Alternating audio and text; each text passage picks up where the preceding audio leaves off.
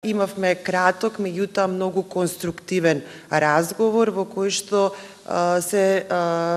договоривме таа соработка да продолжи и во иднина, значи се согласивме дека соработката на централно ниво помеѓу Република Северна Македонија и Република Србија е во одлични односи со многу проекти и соработка, така да тоа се рефлектира и на локално ниво градот Ниш е збратимен со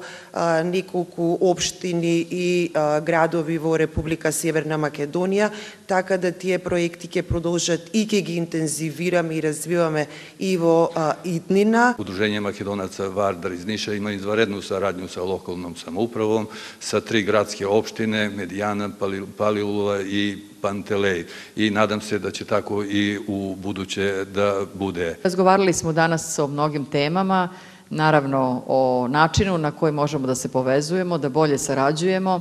Ono što me posebno raduje to je da smo dobili pohvale da kao grad uh, smo dobri domaćini makedoncima koji godinama, odnosno decenijama i vekovima žive na ovim prostorima i uh, što možemo naravno da te odnose i poboljšamo i na taj način pomognemo i sjajnoj inicijativi predsednika Aleksandra Vučića